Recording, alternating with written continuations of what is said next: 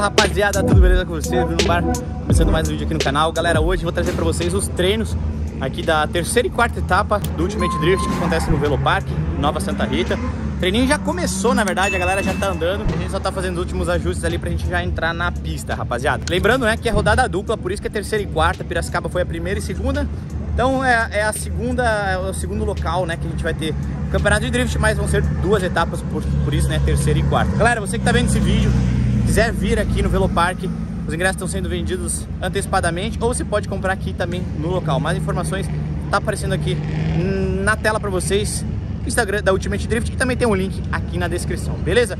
Então, rapaziada, sem mais enrolação, vou mostrar para vocês como é que vai ser o treino. Vou fazer umas imagens on-board, externas também para vocês estarem acompanhando aí como que vai ser esse treininho da parte da manhã. Depois a gente almoça e aí tem mais uns treininhos onde a gente vai começar a treinar batalhas, né, rapaziada? Como é uma pista nova, a gente nunca andou, essa primeira parte do treino ela vai ser um pouco chata, porque a gente vai pegar o jeito da pista, vai pegar os macetinhos, né? A gente ninguém nunca andou aqui nessa pista ainda, então vai ser um, um treinozinho mais demorado, digamos assim. Então, primeira parte a gente vai pegar a manha ainda e depois a gente vai acelerar para valer, né, já com as batalhas treinando batalha, no caso. Então é isso aí, bora acelerar.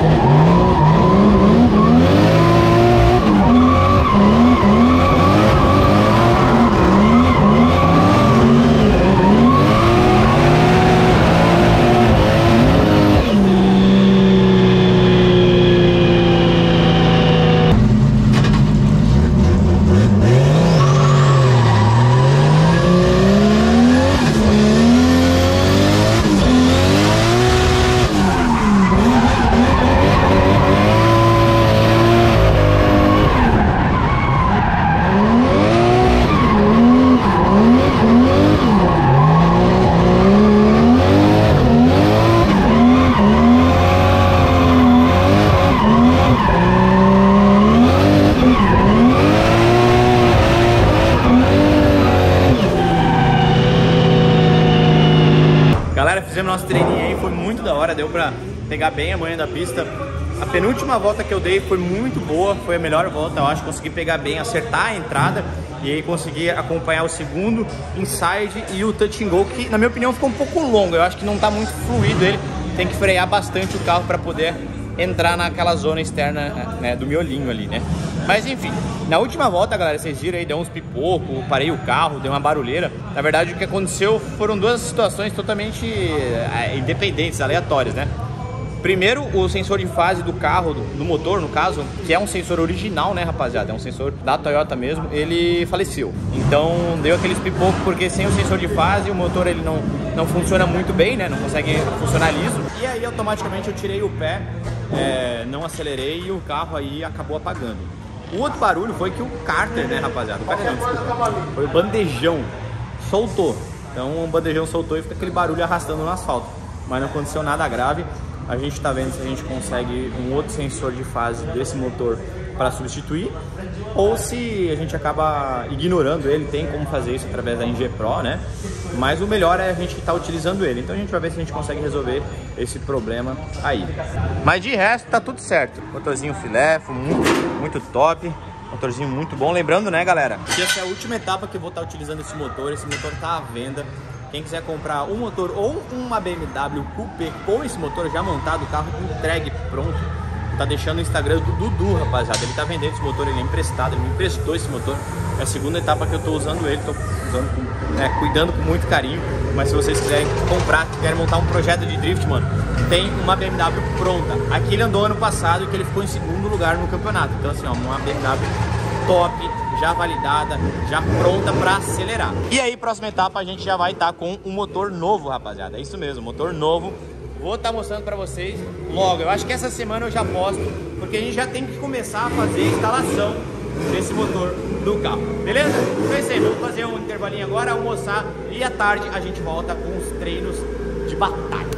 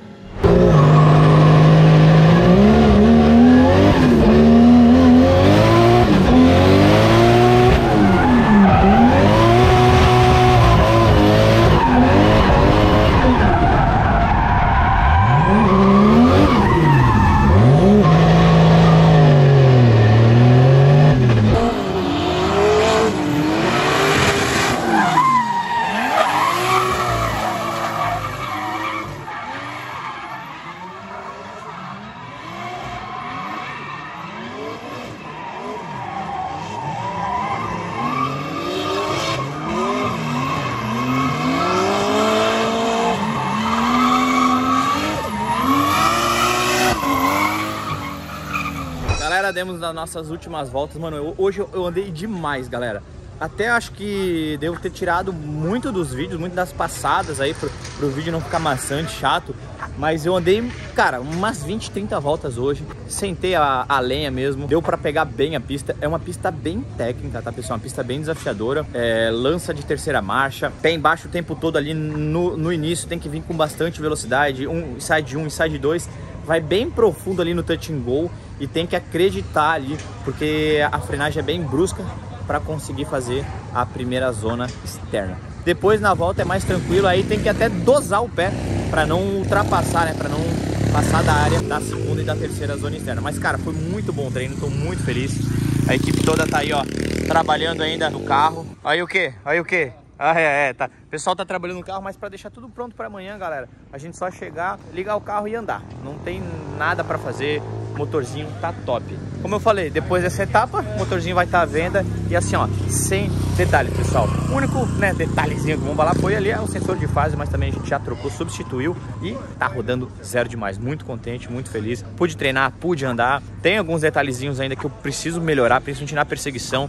Eu vi que eu fui evoluindo constantemente a partir do treino. Tive algumas dificuldades, principalmente ali naquela gota, né, onde faz o retorno na zona externa 1 e eu tava perdendo muita referência, tipo, não tinha marcação na pista, era um, vamos dizer, um estacionamento grandão, né? Um asfalto bem grande, eu perdi a, referência quando eu tava perseguindo.